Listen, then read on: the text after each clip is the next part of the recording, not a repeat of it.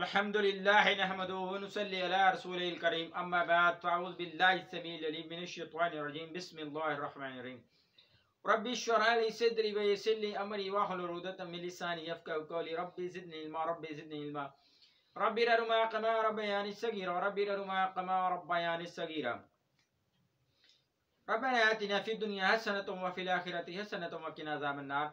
السلام علیکم ورحمۃ اللہ وبرکاتہ۔ معزز سامعین کرام جیسا کہ آپ کو معلوم ہے کہ رمضان المبارک کا مہینہ آنے والا ہے، تو اس میں روزہ اور تراوی کا اہتمام کیا جاتا ہے۔ تو آئیں ہم تراوی کے حوالے سے جو چند مسائل ہیں، ان کے حوالے سے گفتگو فرماتے ہیں۔ پہلی فرصت میں تراوی سے متعلق چند بنیادی مسائل ذہن نشین کر لیں۔ پھر زیادہ بے چین کرنے والے مسائل کو واضح کریں گے۔ پہلی بات یہ ہے کہ تراوی واجب نہیں ہے، بلکہ مسنون ہے، سنت ہے۔ اس لیے کہ صحابہ کرام رضوان اللہ علیہ اجمعین کو نبی علیہ السلاۃ والسلام نے چند دن تراوی کی نماز پڑھانے کے بعد دو یا تین دن نماز مسجد میں پڑھائی ہے۔ اس کے بعد چوتھے دن آپ مسجد میں تشریف نہیں لائے، کہیں کہ یہ عبادت میری امت پر فرض نہ کر دی جائے۔ اگر کسی سے چند دن یا پورا رمضان تراوی چھوٹ جائے تو اللہ کے ہاں جواب دہ نہیں ہوگا۔ مگر پانچ وقت کی نمازوں میں سے ایک وقت کی نماز بغیر ازر کے چھوڑ دینے، دیتے ہیں تو اس پر مواخذہ ہوگا، پوچھ ہوگی۔ دوسری بات یہ ہے کہ تراوی کی مسنون رکعت ماتراوی گیارہ ہے۔ جیسا کہ سیدہ عائشہ رضی اللہ تعالیٰ عنہ بیان کرتی ہیں کہ نبی صلی اللہ علیہ وسلم رمضان میں اور رمضان کے علاوہ دیگر مہینوں میں گیارہ رکعت سے زیادہ نہیں پڑھتے تھے۔ اس لیے تراوی کی مسنون رکعت وطر گیارہ ہی ہیں۔ جو لوگ بیس رکعت تراوی مسنون کہتے ہیں ان کے پاس اس کے حوالے سے کوئی صحیح دلیل نہیں ہے۔ صحیح دلیل سے یہ بات بھی ثابت ہے کہ حضرت عمر فاروق رضی اللہ تعالیٰ عنہ نے صحابہ کرام رضوان اللہ علیہ اجمعین کو گیارہ رکعت تھی تراوی پڑھنے کا حکم دیا۔ اس لیے یہ کہنا کہ حضرت عمر فاروق رضی اللہ تعالیٰ عنہ نے لوگوں کو بیس رکعت تراوی پر جمع کیا صحیح نہیں ہے۔ تیسری بات یہ ہے کہ تراوی ہی تحجد قیام اللیل ہے۔ یعنی رمضان المبارک میں جس نماز کو تراوی کہتے ہیں، اسے ہی تاجد اور اسے ہی قیام اللیل کہتے ہیں۔ دونوں میں کوئی فرق نہیں ہے۔ اوپر دوسری بات کے تحت میں نے حضرت عائشہ رضی اللہ تعالی عنہ ام المومنین کی حدیث بتائی ہے کہ نبی صلی اللہ علیہ وسلم رمضان اور غیر رمضان میں گیارہ رکعت سے زیادہ نہیں پڑھتے تھے۔ جو نماز نبی صلی اللہ علیہ وسلم کے علاوہ دوسرے مہینوں میں قیام اللیل کے نام سے گیارہ رکعت پڑھتے تھے، وہی نماز رمضان میں بھی ادا فرماتے تھے۔ اگر تراوی اور تاجد الگ الگ مانتے ہیں، تو اس کا مطلب ہوا کہ نبی صلی اللہ علیہ وسلم نے تین دن صحابہ کرام رضوان اللہ علیہ اجمعین کے ساتھ تراوی پڑھے اور زندگی میں کبھی نہیں پڑھی یا جن تین یا چند دن صحابہ کرام کو جماعت سے تراوی پڑھائی، ان دنوں الگ سے قیام اللیل بھی پڑھی یہ دونوں باتیں غلط ہیں۔ نصیص جن حدیث سے ہم تراوی کی فضیلت بیان کرتے ہیں، ان میں تو قائم رمضان یا قیام اللیلہ کا لفظ آیا یعنی جو رات کو قیام کرے۔ رات کے اسی قیام کو تو قیام اللیل کہا جاتا ہے۔ چوتھی بات یہ کہ تراوی میں قرآن ختم کرنا بھی ضروری نہیں ہے۔ تراوی اصل میں قیام اللیل ہے یعنی رات میں اطمینان و سکون سے لمبا قیام کرنا خواہ کرا جس قدر بھی ہو۔ اللہ قیام اللیل کا اجر دے گا اگر کسی نے تراوی میں دس، پندرہ یا بیس پارے ہی تراوی میں پڑھے مگر قیام اللیل حقا حق ادا کیا تو بلا شبہ اسے قیام اللیل کا اجر ملے گا۔ اور جس نے تراوی میں مکمل قرآن ختم کیا مگر نماز میں خوشو و خضو سکون و اعتدال نہیں تھا، نہیں برتا تو اس کی مثال ایسے ہی ہے جیسے کہ کنواں چونچ مارتا رہا ایسی نماز ہی نماز نہیں ہے۔ نبی صلی اللہ علیہ وسلم نے ایک صحابی کو جلد بازی میں نماز پڑھنے پہ کئی دفعہ نماز دہرانے کا حکم دیا۔ پانچویں بات یہ کہ مسجد میں حاضر ہو کر جماعت کے ساتھ تراوی پڑھنا ضروری نہیں ہے، بلکہ اکیلے بھی پڑھ سکتے ہیں۔ اور مسجد کے علاوہ گھر میں بھی ادا کر سکتے ہیں۔ اور یاد رکھیں کہ کوئی اکیلے بھی تراوی پڑھتا ہے تو اس کو بھی اتنا اجر ملے گا۔ کہ سب کے سارے گناہ معاف ہو جائیں گے۔ جس کا وعدہ رسول خدا صلی اللہ علیہ وسلم نے رمضان میں قیام اللیل سے متعلق کیا ہے۔ چند مسائل سے اکائی کے بعد ایک اہم بے چین کرنے والا مسئلہ حل کرتے ہیں۔ وہ یہ ہے کہ ٹھیک ہے تراوی کے لیے جماعت یا مسجد ضروری نہیں، مگر جماعت سے پڑھنا بڑے اجر و ثواب کا کام ہے۔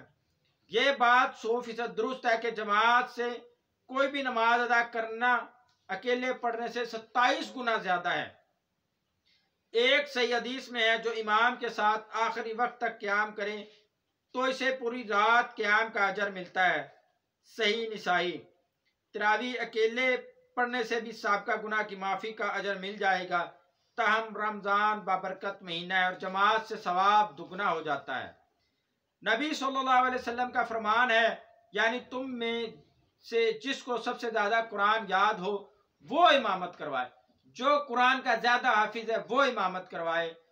سنن نسائی، حدیث نمبر سات سو اٹھاسی۔ یاد رہے، مرد عورتوں کی امامت کرا سکتا ہے، مگر عورت مردوں کی امامت نہیں کرا سکتی۔ بوقت ضرورت تراوی میں قرآن دیکھ کر پڑھنا کیسا؟ کچھ لوگ یہ سوال عموماً پوچھتے ہیں کہ تراوی کے دوران، نماز کے دوران قرآن دیکھ کر پڑھ سکتے ہیں یا نہیں؟ تو ان کے حوالے سے بات کرتے ہیں۔ اگر کسی کو قرآن زیادہ یاد نہ ہو اور تراوی میں اگر طویل قیام کرنے کا اسے شوق ہو، جذبہ ہو، وہ سجود قیام و سجود لمبے کرنا چاہتا ہو تو وہ کیا کرے؟ کیا وہ قرآن دیکھ کے پڑھ سکتے ہیں؟ ضرورت کے وقت قرآن سے دیکھ کر تراوی پڑھانا جائز ہے اور صحیح ہے۔ اس کی دلیل یہ ہے کہ حضرت ام المومنین حضرت عائشہ صدیقہ رضی اللہ تعالیٰ عنہ نے اپنے غلام کو تراوی پڑھانے کا حکم دیا۔ اور وہ قرآن سے دیکھ کر سیدہ عائشہ صدیقہ رضی اللہ تعالیٰ عنہ کو تراوی پڑھاتے یہ روایت صحیح بخاری میں موجود ہے۔ ام المومنین سیدہ عائشہ صدیقہ رضی اللہ تعالیٰ عنہ دین کی بڑی عالمہ فاضلہ تھیں اور ان سے صحابہ کرام رضوان اللہ علیہ اجمین اور صحابیات رضوان اللہ علیہ اجمین دین سیکھتے اور مسائل دریافت کرتے تھے۔ حتیٰ کہ عمومی طور پہ بھی کسی صحابی نے مصحف دیکھ کر نماز پڑھنے سے منع نہیں کیا۔ بعض لوگ تین اصحاب کا ذکر کرتے ہیں، مگر صحابی کا کوئی اثر ثابت نہیں ہے۔ عمار ابن یاسر رضی اللہ تعالیٰ عنہ نماز میں قرآن دیکھ کر پڑھنا برا سمجھتے، اسے اہلی کتاب کا طریقہ بتاتے۔ یہ اثر بغداد تاریخ میں موجود ہے اور تاریخ بغداد کے موقع دکتور بشاد اواد معروف نے المیزان کے حوالے سے ذکر کیا ہے کہ اس کی سند میں ابو بلال اشری ضعیف راوی ہیں۔ حضرت سوید بن حنزلہ رضی اللہ تعالیٰ عنہ نے ایک صاحب کو قرآن دیکھ کر پڑھتے دیکھا تو ان کا قرآن لے کر الگ رکھ دیا۔ سوید بن حنزلہ رضی اللہ تعالیٰ عنہ نام سے صحابی گزرے ہیں، ان سے بھی حدیث مروی ہے۔ مگر یہ نام میں تعریف ہو گئی ہے۔ المصاف ابن ابی داود میں سلمان بن حنزلہ البکری ہے، جبکہ یہ نام بھی صحیح نہیں ہے۔ صحیح نام سلیم بن حنزلہ البکری السوادی الکوفی ہیں، یہ صحابی نہیں بلکہ طابی ہیں۔ پھر حضرت عبداللہ ابن عباس رضی اللہ تعالیٰ عنہ سے کہتے ہیں کہ امیر المین حضرت عمر فاروق رضی اللہ تعالیٰ عنہ نے ہم لوگوں کو حالت نماز قرآن میں دیکھ کر پڑھنے سے قطن منع فرما دیا تھا۔ یہ روایت کنز العمال اور علل سنن میں ہے، مگر وہاں اس کی سند نہیں ہے۔ ان تینوں میں دوسرا کول صحابی کا نہیں ہے اور باقی بچے دو اقوال، وہ صحابی کے کہتے ہیں مگر یہ ضعیف ہے اس لیے معلوم ہوا کہ حضرت عائشہ صدیقہ رضی اللہ تعالی عنہ کی روایت کی بنیاد پر ضرورت کے تحت نماز میں قرآن دیکھ کر پڑھنا جائز ہے۔ البتہ آئمہ اربا کی بات کریں تو امام ابو حنیفہ رحمۃ اللہ علیہ کے علاوہ آئمہ سلاسہ رحمۃ اللہ علیہ نے بھی نماز میں قرآن دیکھ پڑھنے کی رخصت دی ہے۔ یہی وجہ کہ جب امام زہری سے کسی نے سوال کیا کہ رمضان میں قرآن دیکھ کر پڑھنا کیسا ہے تو انہوں نے بہترین جواب دیا کہ ہم میں سے بہتر لوگ قرآن دیکھ کر پڑھتے تھے۔ مسئلہ کے آناف اور نماز میں قرآن دیکھنا کیسا ہے؟ متعدد کتب آناف میں مذکور ہے کہ امام ابو حنیفہ رحمۃ اللہ علیہ کے نزدیک قرآن دیکھ کر پڑھنے سے نماز باطل ہو جاتی ہے۔ یہی وجہ ہے کہ آج لوگوں کی شدید ضرورت ہے کہ وہ اپنے اپنے گھروں میں تراوی کی نماز قرآن دیکھ کر پڑھائیں۔ جب انفیوں کو صحیح بخاری میں موجود ام المومنین سیدہ عائشہ صدیقہ رضی اللہ تعالیٰ نے کہا حکم اور زکوان کا عمل دکھاؤ، تو وہ اس دلیل کی مختلف تعویلیں کرتے ہیں۔ آپ تو جانتے ہیں کہ مقلد قرآن کی آیت میں تعویلات کرے گا، اس کا مفہوم بدل دے گا، مگر امام کا کول نہیں چھوڑے گا۔ یہی حال یہاں پر بھی نظر آتا ہے۔ حدیث عائشہ صدیقہ رضی اللہ تعالی عنہ کے متعلق اناف کی ایک تعویل یہ ہے کہ حدیث رسول صلی اللہ علیہ وسلم نہیں ہے۔ اور یہ بے اثر ہے۔ یعنی صحابی کا ذاتی عمل ہے۔ اگر صحیح بخاری میں موجود تراوی کی گیارہ رکعت عمل رسول ہے، اس کو چھوڑ کر دلیل میں حضرت عمر فاروق رضی اللہ تعالیٰ عنہ کا عمل پیش کرتے ہیں، وہ بھی صحیف ہے۔ آناف کی دوسری تعویل یہ ہے کہ زکوان کا عمل متضاد اور اجماع امت کے خلاف ہے۔ کسی امام کا مسلک ان کے شاگرد سے رائج ہوتا ہے اور امام صاحب کے دو شاگرد تھے، ایک قاضی ابو یوسف اور ایک امام ابو محمد کہتے ہیں، نماز میں قرآن دیکھنے سے نماز مکمل ہو جاتے خلاصہ کلام یہ ہوا کہ ہم اپنے گھر میں جماعت بنا کر تراوی پڑھ سکتے ہیں اور جیسے جسے زیادہ قرآن یاد ہوگا وہ امامت کروائے گا۔ نزیز کسی کو قرآن زیادہ یاد نہ ہو تو تراوی میں لمبا قیام کرنے کے لیے، لمبی قرآن کرنا چاہتا وہ قرآن دیکھ کر قرآن پڑھ سکتا ہے۔ لیکن یاد رہے کہ موبائل سے قرآن نہ کریں، بلکہ قرآن سے کریں۔ کیونکہ موبائل مصحف سے کر نہیں ہے، کیونکہ موبائل مصحف نہیں ہے، یہ ایک ایسا آلہ ہے جس میں خیر اور شر دونوں ہیں۔ اس سے امکان ہے کہ قرآن کے دوران نامناسب چیز دیکھنے یا سننے کو مل سکتی ہے۔ یا دھیان روزمرہ کی ان باتوں کی طرف جا سکتا ہے کہ جو آپ عمومی طور پر موبائل استعمال کرتے ہوئے چلاتے ہیں، سوچتے ہیں اور جو لوگ موبائل کا مصحف قرار دیتے ہیں وہ غلطی پر ہیں۔ کیونکہ اگر یہ مصحف ہوتا یہ سوچے بندہ اگر یہ مصحف ہوتا تو آپ جب بیت الخلاء میں جاتے ہیں یا ناپاکی کی حالت میں ہوتے ہیں تو اس کو کبھی ساتھ نہ لے کے جاتے۔ اس لیے سب سے بڑی دلیل یہ ہے کہ یہ مصحف شمار نہیں کیا جائے گا۔ یہ ایک الیکٹرانک آلہ ہے، یہ ایک الیکٹرانک آلہ ہے، تو اسے وہی شمار کیا جائے گا۔ اگر مصحف شمار کریں گے تو اگر آپ اسے بیت الخلاء میں لے کے جائیں گے یا ناپاکی کی حالت میں اس کو چھوئیں گے تو آپ گناہ گار ہوں گے۔ اللہ رب العالمین سے دعا ہے کہ جو کچھ پڑھا، پڑھایا، سنا، سنایا، اللہ رب العالمین قبول فرمائے۔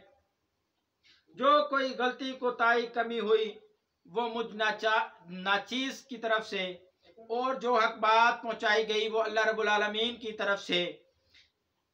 اللہ رب العالمین سے دعا ہے کہ ہمیں اس پر عمل کرنے کی، سمجھنے کی توفیق عطا فرمائے۔ میری زندگی کا مقصد تردین کی سرفرازی، میں اسی لیے مسلمان میں اسی لیے نمازی۔ کی محمد صلی اللہ علیہ وسلم سے وفات وفاتونے تو ہم تیرے ہیں۔ یہ جہاں چیز ہے، کیا لوہ قلم تیرے ہیں۔